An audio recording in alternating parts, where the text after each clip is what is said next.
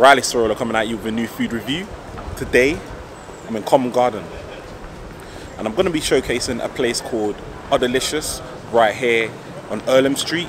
Stay tuned because at the end of this episode, I'm going to let you know whether to give this place a hit or a miss. Boom.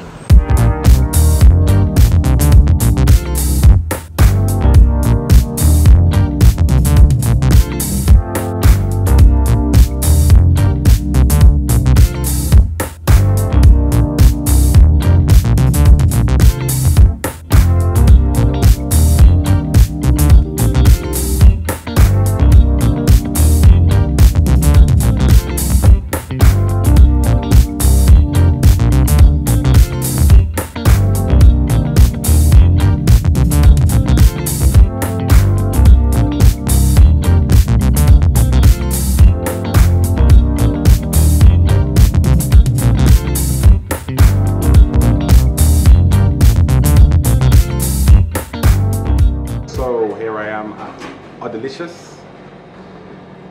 They make handmade uh, sorbets and ice cream. Situated in Covent Garden, Seven Dials. So I've gone for their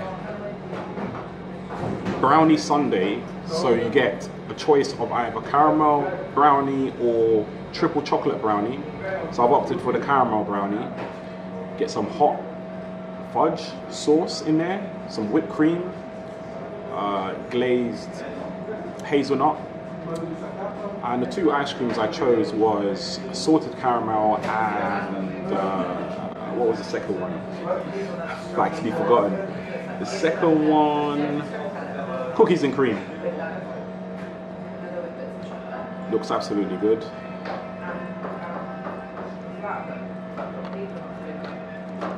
Mmm. This takes me back to the days when I used to bang out Ben and Jerry's Cool Sundays at the um, Odeon. Got a good, good, a good whiff of that glazed, glazed hazelnut. Absolutely delicious. Mm. This doesn't taste artificial at all, and actually it doesn't taste. It's not too sweet.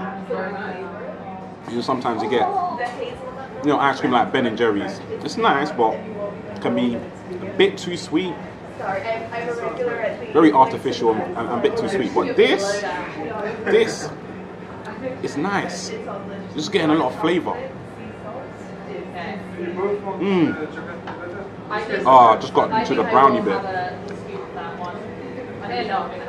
That is amazing. This is a great invention. A brownie sundae.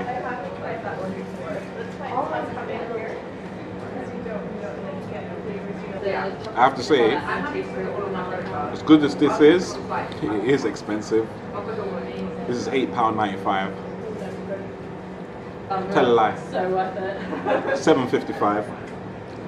I actually forgot what how much I paid for my ice cream. Seven fifty-five for two scoops.